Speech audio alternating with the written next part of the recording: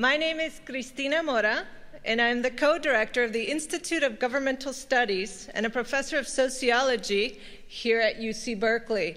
Is my, thank you.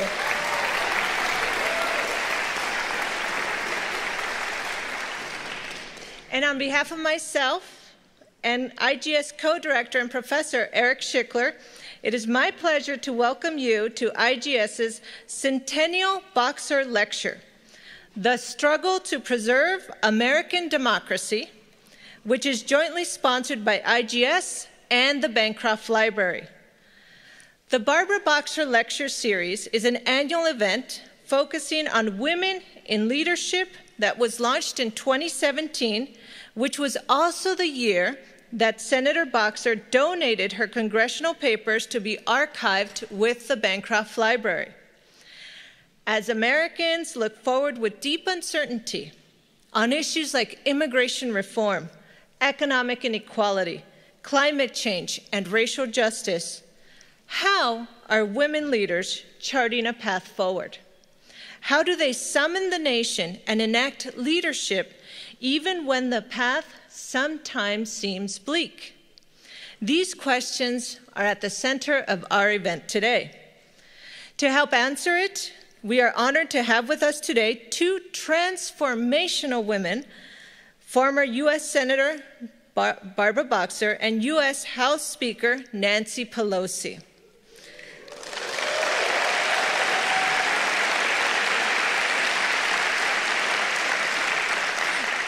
Both have dedicated their lives to public service and have been forceful advocates for justice and social change in California and the nation. The first part of today's event will be a conversation between Senator Boxer and Speaker Pelosi on the topic of women's leadership during these challenging times. We will also reserve time for questions from the audience that were submitted when folks registered for the event. Before we begin, I would like to introduce another inspirational woman leader, UC Berkeley's own Chancellor Carol Christ.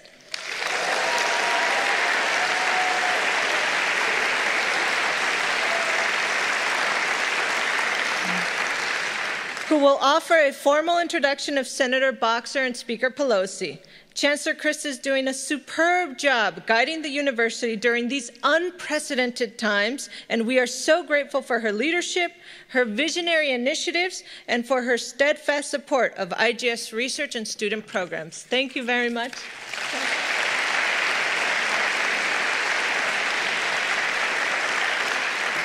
Thank you, Christina. I'm delighted to welcome you all to this wonderful annual opportunity to celebrate women's leadership, made all the more special by the participation of the Speaker of the United States House of Representatives, Nancy Pelosi, who has never spoken on the Berkeley campus before.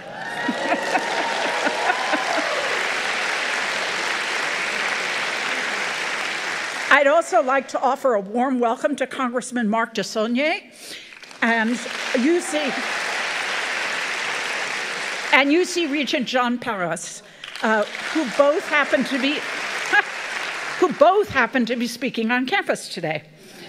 The Barbara Boxer Lecture Series is a programming centerpiece for the Institute of Governmental Studies one of the oldest research units in the UC system and the first public policy research center in the state, IGS has been at the forefront of American and California politics research, helping to bring our university's research expertise to bear on society's biggest problems. It's the enduring mission of IGS to help us all gain a greater understanding of policy and politics. No small task these days, to say the least and to prepare the next generation of political leaders and engaged citizens. I'm delighted to have this opportunity to introduce Senator Boxer and our very special guest, Speaker Pelosi. We should note that among Senator Boxer's many achievements, she's the proud parent of a Berkeley alum, Doug Boxer, who graduated in 1988. We're honored to have you as a member of Berkeley's extended family. Before serving in the Senate, Barbara Boxer represented Marin and Sonoma counties in the House of Representatives from 1983 to 1992. During this time, in 1991, she led a delegation of female representatives in a march up the Senate stairs to demand that the all male Judiciary Committee allow Anita Hill to testify during the Clarence Thomas confirmation hearings.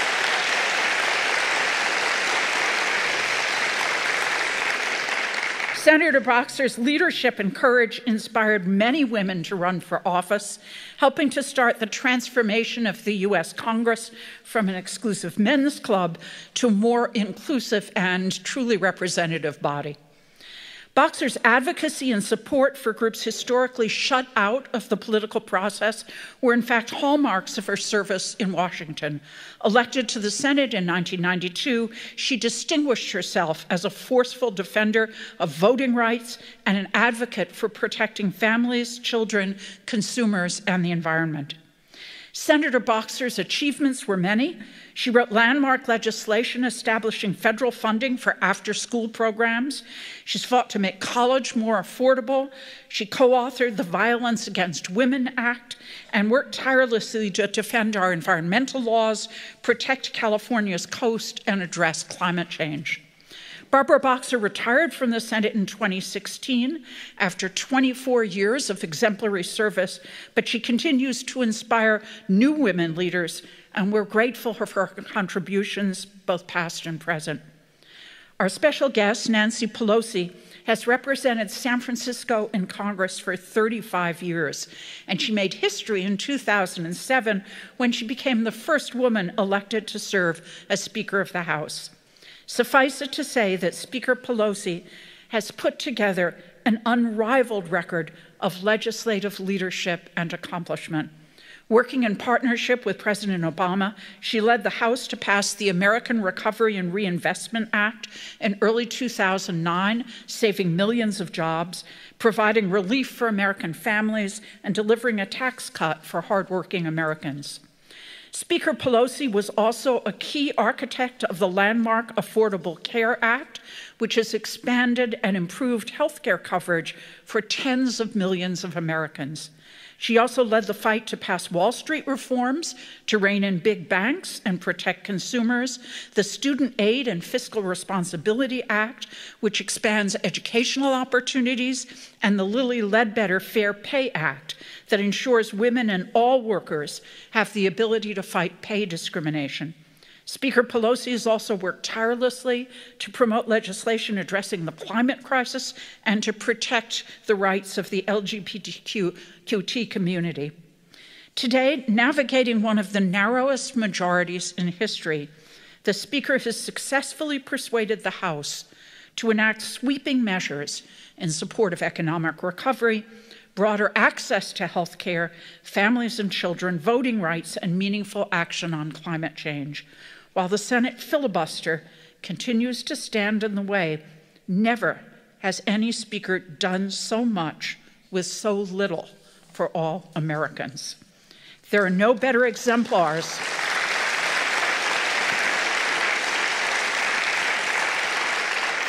There are no better exemplars of the transformative power of women in leadership than Speaker Pelosi and the Honorable Senator Barbara Boxer. Please join me in giving them a warm Berkeley welcome.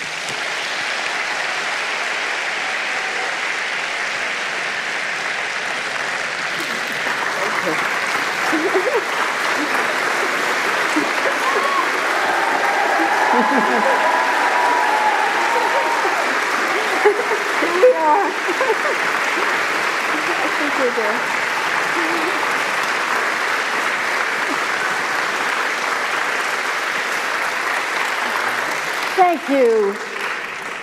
Oh, what a treat. And we're sorry we're a tad late, but we'll run a little bit late.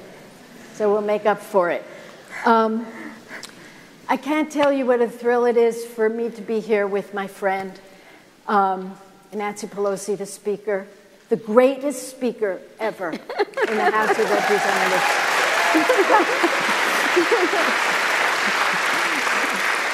and that's based on fact not love, but fact. Um, I want to recognize my son Doug Boxer somewhere here because Doug is the one who set up this whole boxer lecture series along with the people here at the Institute. And thank you, Doug. And his wife Amy and Raina, and my husband Stuart, my former boss John Burton, who got me started, and uh, George Miller and Cynthia, friends of ours. Uh, we're just, it's old home week and beautiful. So, and, uh, I'm getting to the question. Um, I just have to say, for the speaker to take her time, in all sincerity, to do this is, is a huge compliment to UC Berkeley and to all of you. So thank you. I want you to know, Madam Speaker, that there's a waiting list for this, and people are watching online because uh, they want to hear from you. Um, I wanted you to know, as, before I ask my first question, that uh, the speaker and I came up in national politics at the same time. Um, we came from different places in some ways, and fate threw us together during the AIDS crisis in San Francisco. And we became sisters, and we have remained that uh, ever since. And she was the head of the California Democratic Party, a very strong leader of that party. I know we have some leaders here today. Thank you for being here. And then, um, and then she ran for Congress, and I had been there I, went, I was on the Board of Supervisors in Marin and went to Congress. I was there a very short period of time, four years, when uh, my partner showed up. And we worked together in so many ways. And I would ch- cherish that forever. Um, and so this is what leads me to my first uh, question, which is a personal question, and when, then we're going to get to the heart of our democracy in a minute, but I had to ask Nancy this question. And if I say Nancy, it's because I slip up, because we're such good friends. So um, I will say this um, I can't tell you what it was like to get to the house in the 80s. Uh, George remembers it, John remembers it. A lot of men. 435 people, and we had 23 women. Nice. And some of them only got there, remember, Madam Speaker, because their husbands kicked the bucket. And so they said, oh, well, let's just go with the wife. so there were so few of us. And the fact that a woman could get into the leadership like this, could work her way up those chairs to win the trust of all these men, it's more extraordinary than you can even imagine. Uh, and even now, only 25% of the House uh, and the Senate are made up of women. So uh, put yourself in that situation. So, my first question is this um, Madam Speaker, you were one of six children and five brothers and one sister, that was you. What prepared you, or did anything prepare you? Um, and your dad was in politics. What prepared you for what you eventually became a leader of a lot of guys who put their trust in you. Can you share? Well, first of all, let me thank you for the invitation to be here. Thank you, Doug, for setting us up. To Doug and to Stuart and Amy and Rain, your family is here. My daughter Christine is here, and family to us, of course, John Burton and, and George and Cynthia. Miller, the Swigs are here, and uh, Mark DeSaulnier, our colleague, is here. So for us, this is a, a family affair, and we thank uh, Chancellor Christ uh, for the, this beautiful auspices on which we can talk about the present and the future. Well, that's what it's all about. It's always an honor to be at Berkeley. I take great pride in having spoken at a graduation of the, of the undergraduate school, a school of business years ago, I was just here a couple, about a month and a half ago with Chancellor Drake with the, for the uh, visiting the labs, all about the future, so exciting. So it's, it's really a, a treat and honor to be here, but a special personal pleasure to be here with Barbara Boxer. She is, how can I say this? She is unique in this respect, in many respects, but in this respect, unique as a politician, and I use the word politician in the most flattering way. I'm proud to be a politician. She's the unselfish politician, always giving opportunity to others, giving credit to others, always, always, always making room for people to find their path. I could not have uh, succeeded in Congress when I went there to begin with, it, without our family of friends and Barbara's friend, like a sister uh, to me in the Congress. So very generous. So thank you, Barbara Boxer, for being that unique that unique, special person, an unselfish politician. Thank you so much. Thank you, Madam Speaker. Well, the uh, having I came from a family of seven, six boys, one girl. One of the boys died young, and so I raised with five brothers, and, and I was the youngest. The uh, an Italian American section in Baltimore, Maryland, Little Italy. I was born into a family where um, we were very, very devout in our Catholicism, very patriotic in our love for America, very proud of our Italian American heritage, and staunchly democratic. we saw these things as connected. We saw the, the respect for people as made in the limit, image and likeness of God to be worthy of all the respect in the world, and that public service was a noble calling, and that we had a responsibility to take responsibility for others. And so our faith, although we believe in the separation of church and state, our faith was a big motivator for us in terms of, uh, of political activity and community involvement. I never, Barbara can tell you, John can tell you, George can tell you, I never in a million years expected that I would run for office. Right. I was very shy then. and I was chair of the California Democratic Party where I loved promoting the issues, the causes, the candidates, and being the person behind the scenes promoting others in terms of accumulating the resources, channeling the energy, being a grassroots organizer, which is what I was. Uh, and then the opportunity came along. So I say to the women here, you never know when the opportunity may come along. Be ready. Be ready. Just take stock of yourself. Take pride and, and confidence in who you are, very uniquely, who you are. The best advice I received when I ran for office, Barbara, was be yourself. Mm-hmm. So I say that to all of you. Be yourself. That's the authenticity of it all. So, in any case, uh, how did having all those brothers?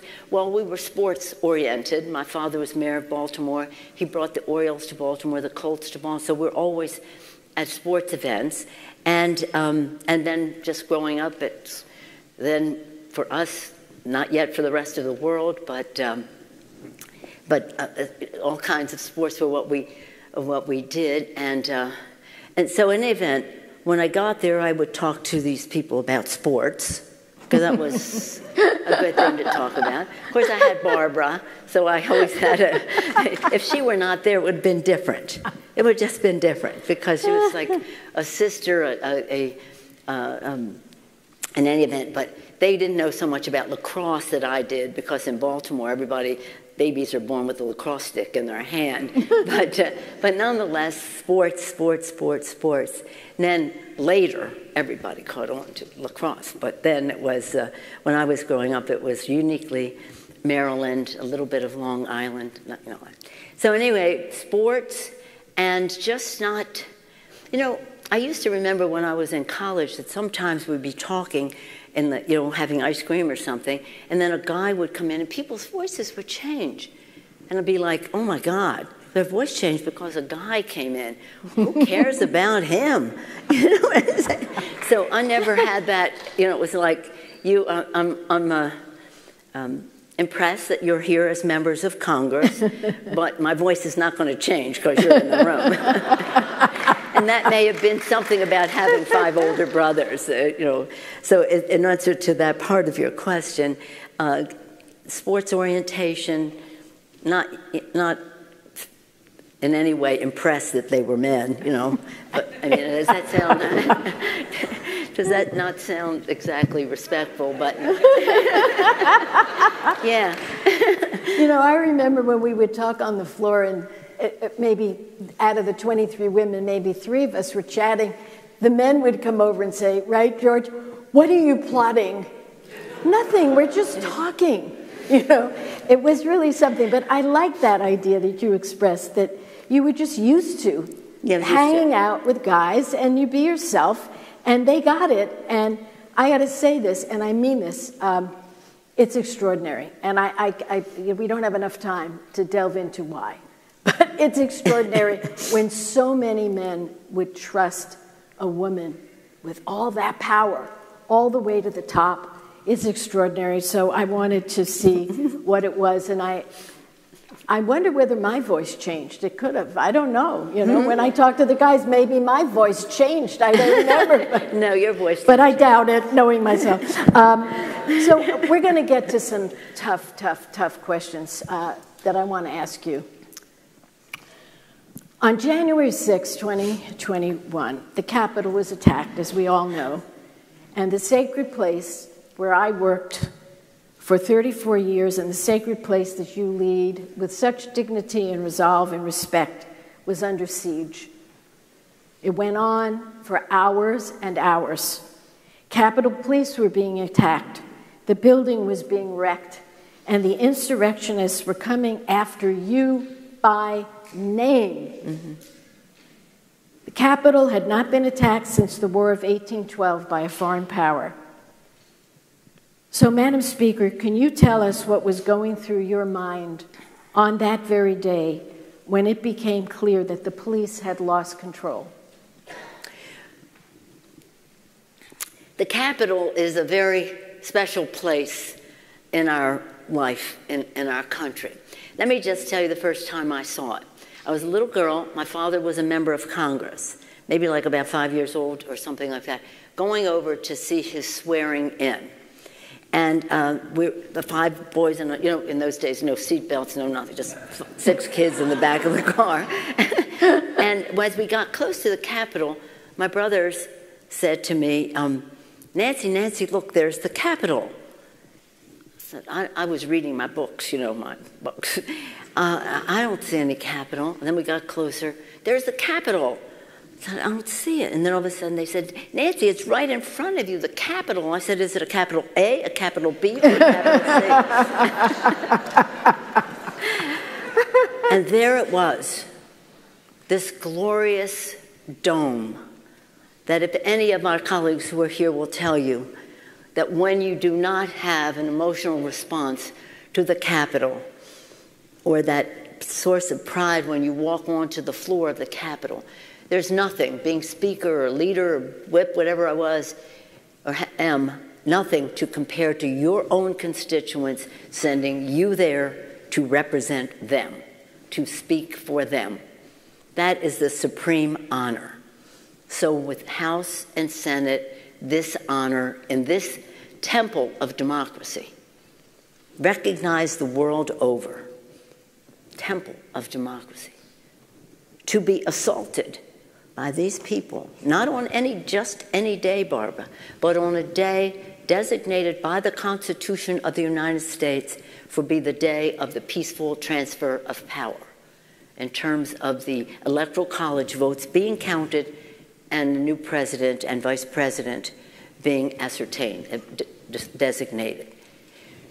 So it was not just an assault on the Capitol, it was an assault on our Constitution and it was assault on our democracy.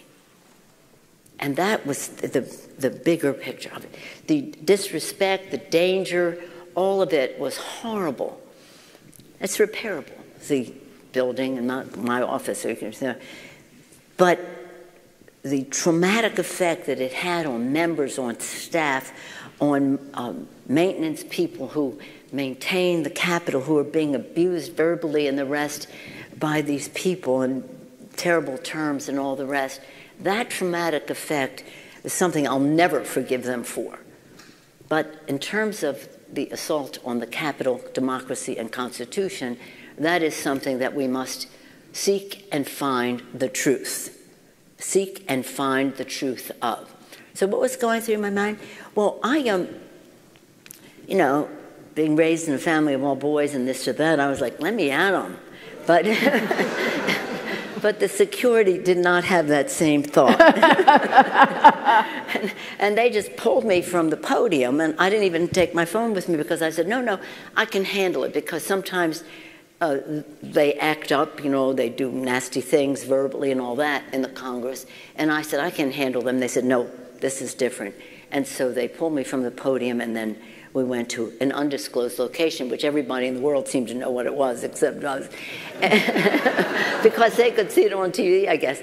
So it was. Um, it was more concern. I didn't care about me because I, first of all, have a lot of security, and I'm up there in age. You know, it's you know, it's not like I was 35 years old and they were coming after. Me. But for the other members, it was so traumatizing. So traumatizing. I thought, who, you know, who will seek this office? Who will come if they think that their, their lives are in danger here?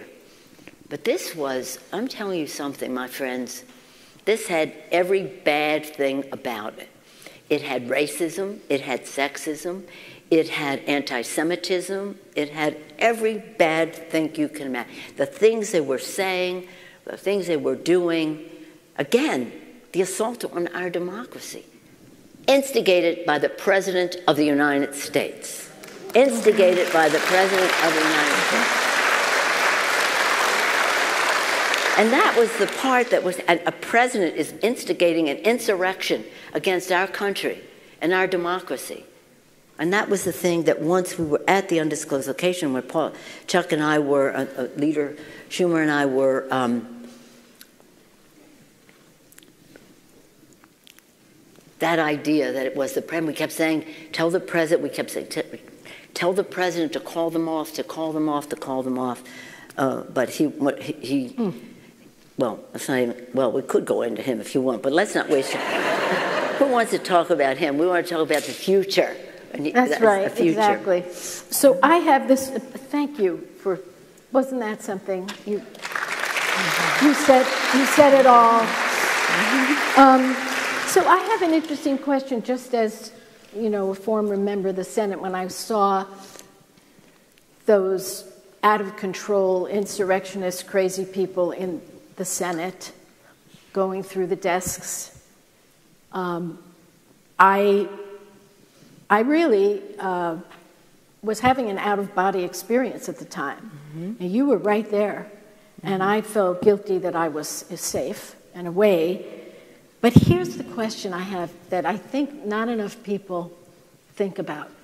A miracle happened because you made sure the certification of the presidential election continued. This is, this is not given enough stress. And, and, and were there those around the Congress who suggested putting that certification aside? Because it's my theory, if you hadn't done that, I don't know where we'd be today. No. So, can you give us a little inside yeah. color as to, uh, you know, how you made that decision and who, if you can tell us, who was helpful in that? Well, let me just say the main thing we were doing when we were at the undisclosed location is pounding away at why is the National Guard not there? And mm-hmm. the administration really withheld the, the okay for the National Guard to go. I don't care what they say they were, oh, oh, you know, it takes a lot and it's harder to do, and I got to talk to my boss and all that kind of thing from the Secretary of the Army versus the Secretary of Defense, all of them acting, acting Secretary of the Army. Uh, and uh, that was what Chuck and I, and we were just so concerned. I was also concerned that the vice president was still on the property. They did not take him off the property. So when I was talking to him, I said, I'm, I'm very concerned that you're still on the campus. And um, he basically said, the security, the, the um, Secret Service, that's different. We had the Capitol Police, they have the Secret Service. They thought it would cause too much of a thing to have the entourage of the vice president leave when they were seeking him out. We, we kind of left um, a little more confidentially than the vice president's motorcade would be. So, um, so that was, uh, he was very smart to stay. Mm. I'm not sure, and you'll have to ask him whether the Secret Service wanted him to stay there or they wanted him to go. But he knew if he left, there was probably no coming back. But anyway, so that was one piece of it. The other part of it was, again, pounding away, pounding away, pounding away Where's the National Guard? Why aren't they there? Why aren't they there? Why don't you okay it? Well, you know, it takes a lot. It, was, it was really weird. And now they make up all kinds of things like they were there, they weren't. But um, the main decision was we're going back. We're going back. And people said, well, we could bring all the members over here to, uh, now remember it's COVID, and so you have to be spaced and all that. You can bring them over here, and then we can do the whole process. I said, we're going to the floor of the House. Chuck Schumer was very much that way. And, and to his credit, Mitch was okay with that Good. as well. He wasn't a problem. So the three of us were in agreement. But in the course of the evening, don't tell anybody I told you this, okay? This is just between, this is just between each one of us. And everybody online in the press who's Yeah, reporting yeah. on it is good. In the course of the evening, you're going to love this. Mitch goes over to Chuck and says, Congratulations, Chuck. He realized that the votes of the day before, January 5th, had now proven that Chuck was going to be the majority leader of the mm. Congress. Now, just as an aside, just as an aside, now we'll get back to this. So we said to the security, we're coming back. You know, we're coming back. Now, what's the earliest time we can come back? It doesn't mean, you know, there's still, you know, blood and glass and everything else on the, on the floor and stuff, but we're coming back. And that was the, mo- they kept saying, well, you could just do it here. I said, no. The world has to see hmm. that the Capitol is operational and that we are in the Capitol as we engage in the peaceful transfer of power in terms of the Electoral College.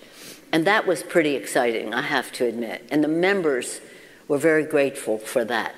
Even though they were the ones most at risk, because you know I have so much security, they have security, but not like speaker. Speaker's second in line to the president, presidency. I mean, it's God never happened, but nonetheless, you get commensurate security in that regard. So these members were very courageous to agree that we would go back and do this in light of what had happened earlier in the day. But you know what's really sad about it, and you can tell anybody this.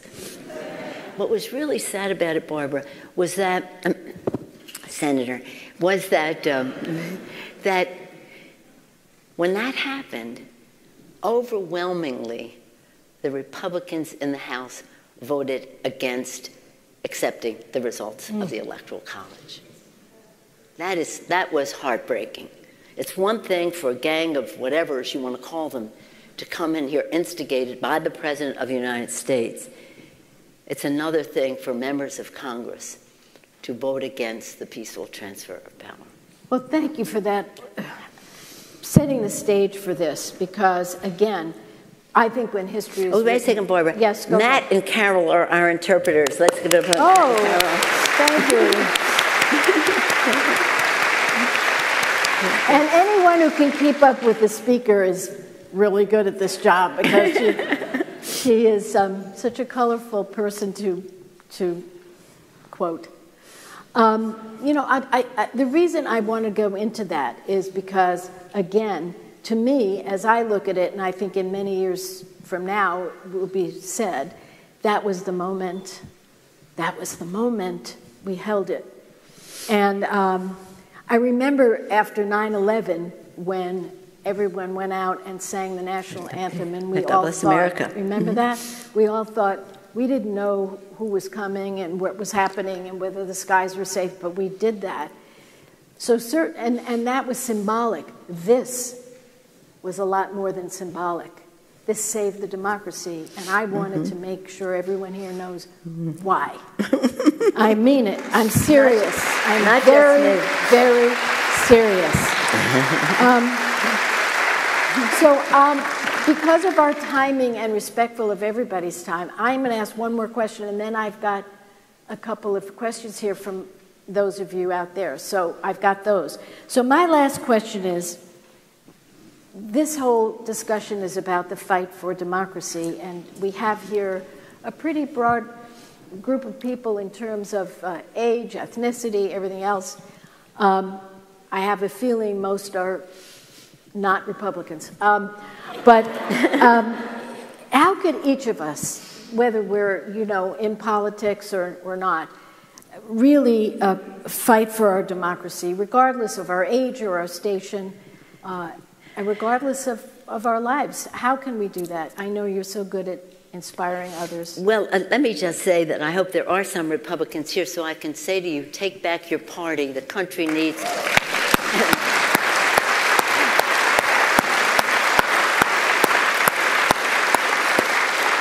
The country needs a strong Republican Party, not one that has been hijacked as a um, cult. Uh, and we, we really need it because Barbara and I and George and, and uh, John and all, we served in a bipartisan way in the Congress, and we yep. can go back to that. Confident and proud of what we believe in, humble enough to listen to others, uh, eager enough to find consensus for our country. And uh, that's not what is happening now. And people say, oh, it's gridlock. It's not gridlock, it's obstruction. It's an obstruction of those who do not believe in gov- governance or science or just a, a, what our founders created. So, in order to answer to your question about how I always say that what we should be doing is worthy, worthy of the uh, vision of our founders worthy of the sacrifice of our men and women in uniform, and worthy of the aspiration of our children, the aspiration about the future, about the future. Our founders, although all white men, were, were geniuses. They really were very brilliant. And they created something. Imagine the courage. Thomas Paine said, The times have found us at that time. The Times found them to declare independence, to fight a war, to win it, to write our founding documents, and to do so in a way that was, thank God, amendable, so that we could always be expanding freedom. Now, we don't like some of the things that were there, but nonetheless, imagine that this was the first time ever that a country was founded on an idea, not geography and ethnicity the way the rest of the world had been. This was great. And again, always wanting to improve what was there, but worthy of that. The Times have found us now to protect that. The Times found Lincoln to hold it together. Now, we don't place ourselves in a category of people uh, like our founders or Lincoln, but we do uh, recognize the urgency of the assault on our democracy now. Mm-hmm. So, I would say that one of the things that uh, the previous occasional occupant of the White House would do was to undermine freedom of the press. In my view, freedom of the press is the guardian of our democracy. Uh, freedom of the press to be able to tell what is going on.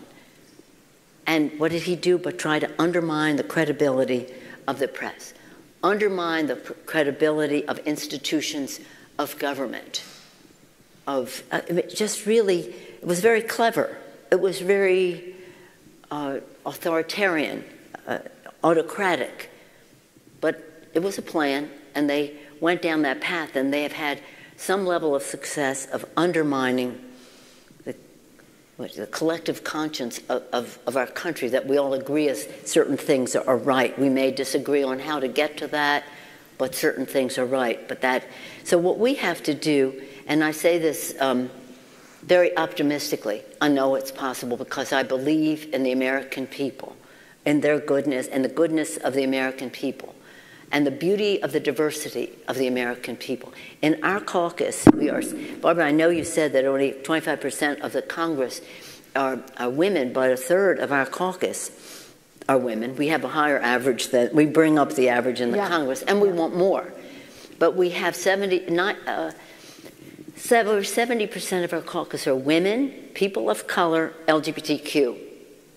That is something remarkable. Something remarkable. So all of us have to assume our responsibility because the Times have found each and every one of you, you came here today.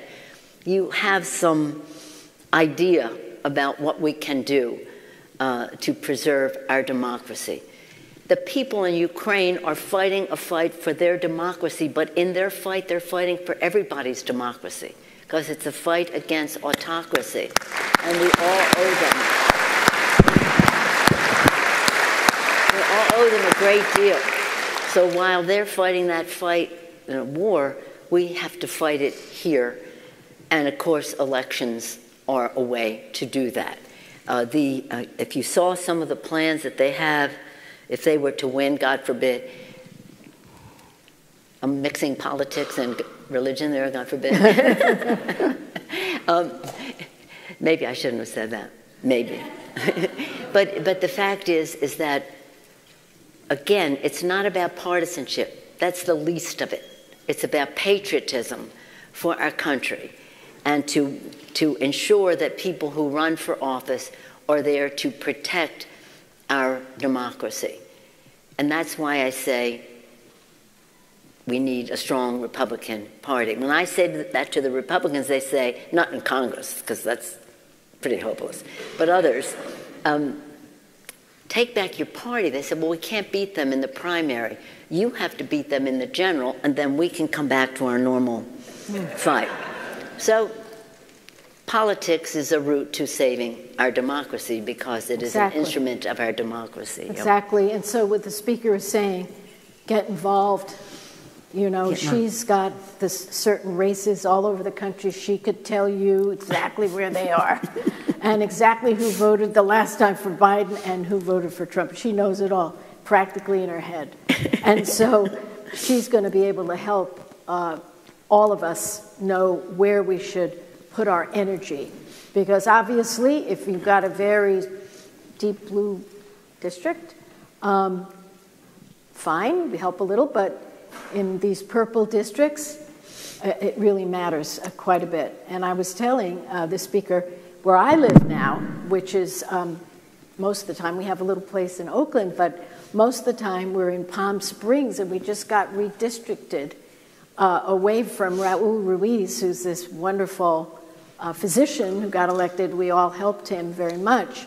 Now we finally got him, and now we have Ken Calvert, um, who a lot of you probably don't know because there's not much to say there. But the bottom line is um, we have a chance. We have a chance to win that. So those are the purple districts. Barbara, if I um, just may yes, say on please, that score, please. because um, I didn't know we could talk politics here today, but I do want to just take it back away from politics for a moment and say this. We have a bill in the United States Senate, protect our vote, the freedom to vote. It keeps changing its name as it gets little. And if we, and we pass, it has the votes to pass, but it does not have the votes to overcome the filibuster 60% requirement. And reason I bring it up is because it is a protector of our democracy because it stops John Lewis wrote the first 300 pages and it take and it's about stopping the suppression of the vote and the nullification of elections. You know, they're out there saying now we'll have an election and then three people will decide who won. No, not really. Not three people. The people will decide who won. But it also, and this is my point here, it also has taking away, um, it has ending partisan redistricting. And that may or may not help us win more Democratic seats, but it'll make the process more wholesome for our country. Because the, instead of instead of having these Trumpian districts could be more districts where any Republican win, any Republican win, and then then it's a, a, a Democratic Republican fight or political campaign. But it is really important, again, as I say, that this bill is not about partisanship. It's again about patriotism, and while we have to take advantage of every opportunity that we have to win because our democracy is at stake, but our fight is for the kitchen table concerns of the American people, and that is what the big difference between the Democrats and Republicans are. Our democracy, too, but people think we'll handle that. They just want to know how it is, and perhaps we'll get around to that in the rest of the conference. But understand, when we fight for nonpartisan redistricting, it doesn't necessarily help Democrats, but it helps the American people. Exactly. No question about it. And I have to make an admission, which I hate, you know, I, I, hate using the word I was wrong, the words I was wrong, But I was wrong. I fought against that uh, commission. Mm-hmm. And the commission in California turned out to be pretty mm-hmm. fair. Mm-hmm. I mean, I kind of liked it when we drew it ourselves, but I admit I was wrong at the end of the day. Tough to admit. Um, so I'm happy to tell you that students have some questions, and they, I have them right here. So the first question I'm going to ask you, it's a little bit of a change of pace. Jack Galloway is a student. Jack, are you out there? Where's Jack? Yay, Jack. Thank you Where's for Jack? this question. Hey, I have it. I have it right here, Jack. I'm supposed to ask it for you. That were my instructions. Thank okay. you, Jack. So Jack is asking you, what previous Speaker of the House do you most admire and why? Who was the first Speaker of the House? Tell us. I don't know. Uh, uh, let me just say. I've served with a number of speakers, and I've seen um, on the Democratic side. I mean, I'm talking on the Democratic side, and I've seen merit in every one of them that I served with. Uh, but I would not even go near that question. After all, somebody might ask somebody else that question about me. But no, it is. Um, it's funny because the, it is. Um, everybody brings their own authenticity to the table, and I have great respect for all of the um, the speakers who. Uh, on the Democratic side. I am only talking about the Democratic side. I mean, I'm talking about um, strength, I'm talking about values, I'm talking about vision, I'm talking about transparency, I'm talking about accountability, I'm talking about bipartisanship. That's what I saw on the part of every Democratic speaker. And Jack, if I could say, you know, if people ask, um, if people ask the sitting members why they think the current speaker is mm-hmm. great. I, I can tell you some of the things they've told me. First of all, she can walk in every one of their sh- shoes. She knows every district. she knows when they can be with her, when they may not be able to be with her. She gets it. It's a very, in many ways, a very unselfish uh, situation there because you are walking in other shoes. And even though you're desperate for votes, she understands that and she gets that. And also, she's got courage, right? She goes up against, I mean, I'll never forget, and I'll stop here uh, because I could go on about this woman, but remember the time when, when she was sitting behind the guy with the orangish hair and and he w- and she she took the speech and she went whoa like that.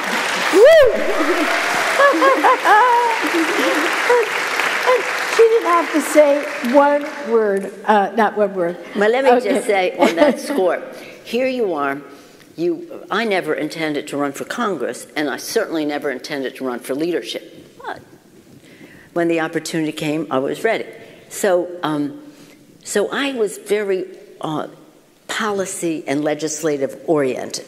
So I knew my, I knew my brief there as speaker.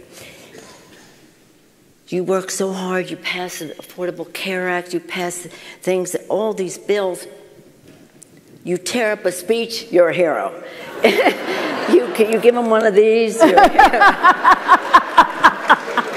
point at him as I in that picture when I'm pointing to him. In that picture, I'm saying to him, "With you, Mr. President, all roads lead to Putin." That's what that picture is about. That's why I said I'm leaving this meeting because with you, all roads lead to it. Oh my God. And I think, well, what about all the legislation that we've had? but anyway. I love those moments, those iconic moments. And the one in the red coat and the glasses wasn't bad either. Yeah, well, the red so, coat. Okay. I can't wear my red, my orange coat anymore because, uh, anyway. Because it just says everything to me. But thank um, you for your question. Who else? So, okay, so here's another one. Um, Noah Rosenberg, are you here, Noah? Noah? There he is. Uh, hi, Noah. Noah. So, Noah asks How can students help safeguard our democracy?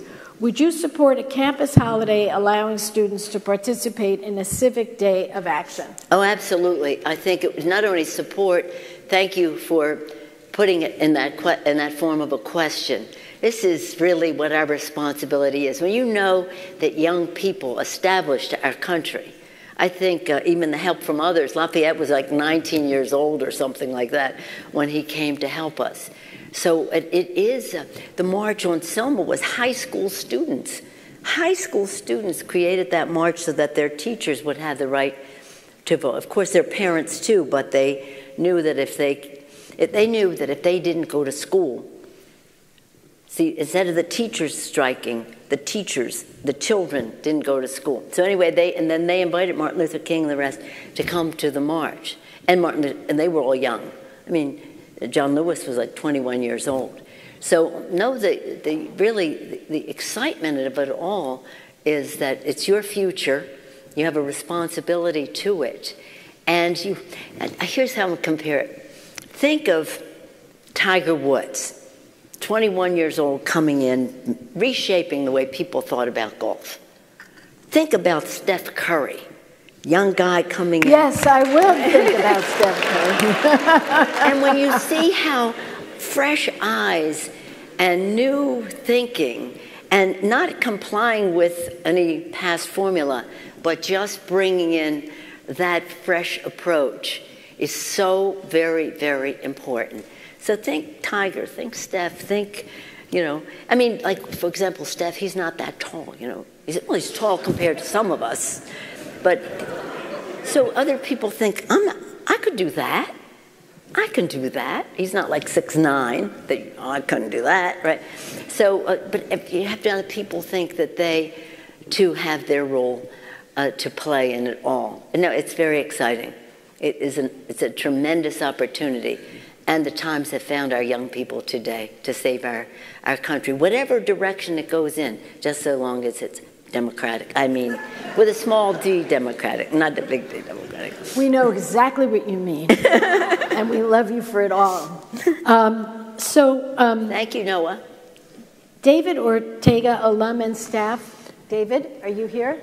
Somewhere? There's David. Hi. Anyway. So, David has um, an interesting question about how the parties became so divided. And, and, and, Madam Speaker, I want you to know when I ran for the first, the first time in office, George Herbert Walker Bush was on the board of Planned Parenthood. Do you see what I'm saying? And my mentor, one of my mentors, was a Republican named Peter Behr, B E H R, was a state senator, a, a wonderful man, environmentalist. Champion. And I got those environmental credentials, many, and ideas from, from Peter Behr. Now, uh, all of a sudden, we're in a different situation now. And when I tell a lot of young people when I do speaking that, mm-hmm. that these Republicans help, you know, and we were fighting over the same groups. You know, who could win the women's vote? Mm-hmm. You know, Republicans were for the ERA. Now look where we are. So, I, so this question is so important. And I have my own thoughts, but we're here to hear yours, which I have to keep reminding myself because I'm a former senator and I think everyone wants to hear me. Um, how have the parties become so divided, Madam Speaker? And is there a chance, in your opinion, that there will be bipartisan politics in the near future? Well, thank you, David, for your question. The, uh, I, I, think it started in sort of the 90s. Uh, the 90s are when well, it goes way back further than that. Follow the money.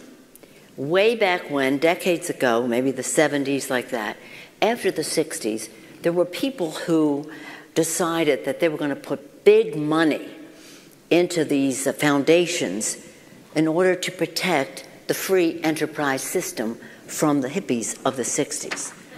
No, I'm, this I'm telling you what it is. Okay, so so this big time money came along, big money, and it was uh, into these. Uh, you don't pay tax. You know, they put it into foundations, foundations, foundations. Then in the 90s, the Republicans used that money, big time money, to win the elections. They weren't supposed to really because that's not, it's not um, political money, but it was messaging money. And um, a certain speaker came along and used that and won. And it was, think of any issue, think of gun violence protection. All these, all aligned with this pro money group. a woman's right to choose, pro money out there against it. See, any of these, climate, saving the planet, pro money against. Pro money against. So it was a way to protect the financial assets of the rich. The free market system was not in danger. It wasn't a reason, it was an excuse. But it was big money, and it still is endless money. Endless money. Now, I don't paint all of those very wealthy people as racist, anti Semites, and whatever uh, Trumpian, but that's how they vote. And, um, uh, and these other people, whether, if you go to a, a rally and you see a sign saying pro life, you can bet on the outside it says cut taxes. Mm-hmm. You see one that says um, something about the environment, cut taxes. It's, it's just the way it is. So it, we have to we have to just take our country back for America's working families. The middle class is the backbone of our democracy, and it has a union label on it. It has a union label on it. So we have to give workers, we have to empower workers and working families, whether they're union or not, but nonetheless, that they are the, the source of strength, the backbone of our democracy. So I appreciate your question, David, but that's what happened. It went money all the way. As Barbara said, Peter Behr was a champion on environment. We, we were used to bipartisanship on the environment and, and, uh, and others. Uh, I just laid to rest in the Capitol George Miller's good friend, Don Young.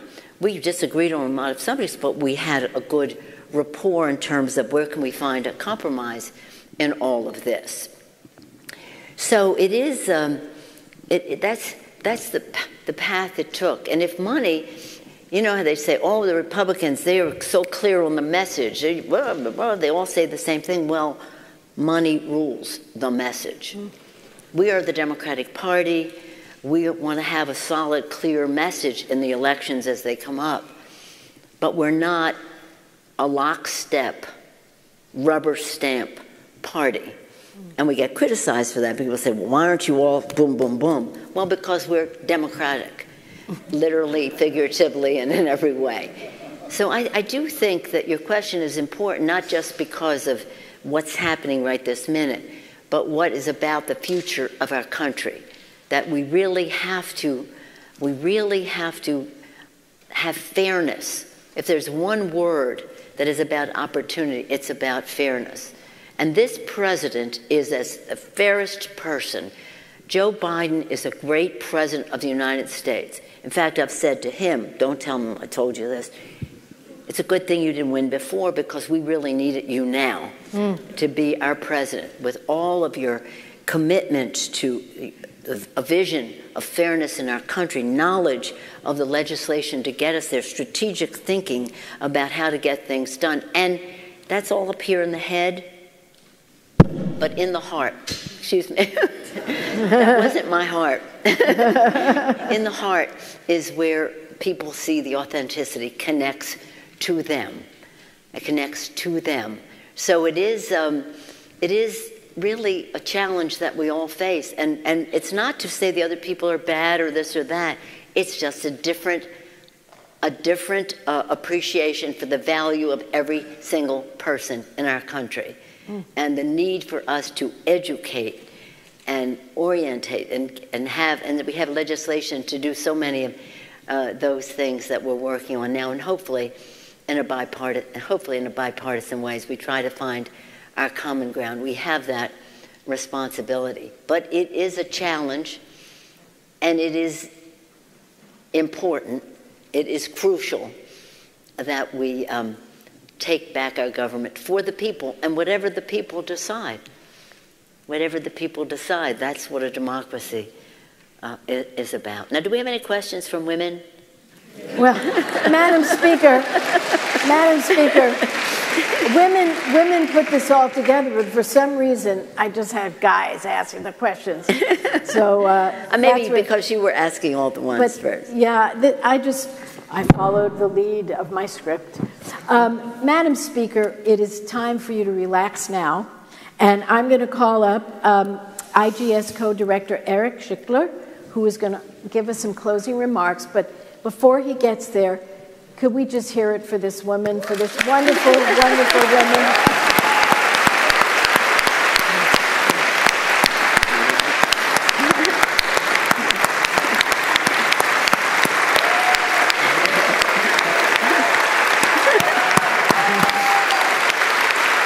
here for Barbara Boxer. Thank you. Thank you, Nancy. All right, it's hard to follow that. Uh, I have a couple of uh, thank yous before we close our program. First, I want to thank the IGS staff for their extraordinary work making this event possible.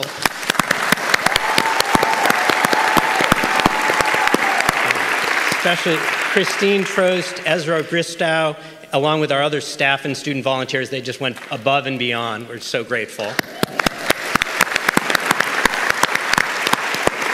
I'd like to thank our co-sponsors, which include the Bancroft Library, the Robert T. Matsui Center for Politics and Public Service, the Berkeley School of Law, Charles and Louise Travers Department of Political Science, Sociology Department, College of Letters and Science, and especially Raka Ray, Dean of Social Sciences, for providing additional resources and staff to support this event.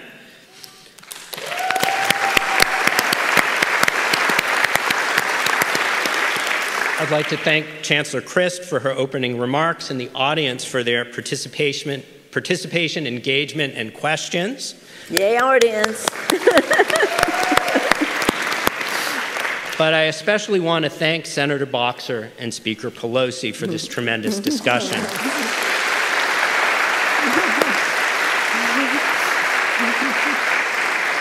So I've actually spent my career studying Congress, and one of the questions you ask is, well, what is the difference an individual legislator can make?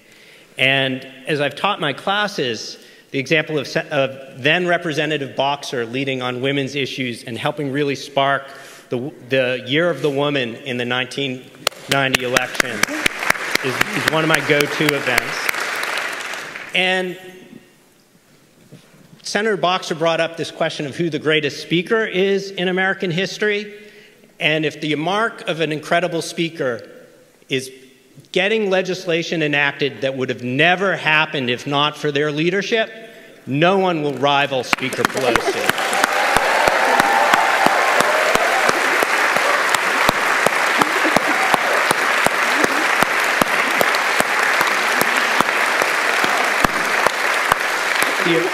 Just one quick example the Affordable Care Act was going to be dead.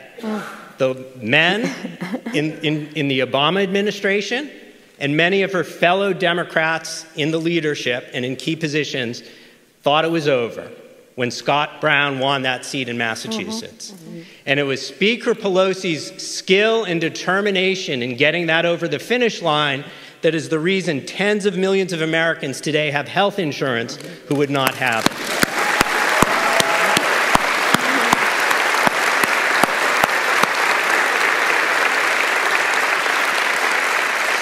So I want to thank you both for all you've done as public servants and for sharing your insights with us today. Good day. Thank you. Thank you. Thank you this. I never use this. Thank you. Thank you so much.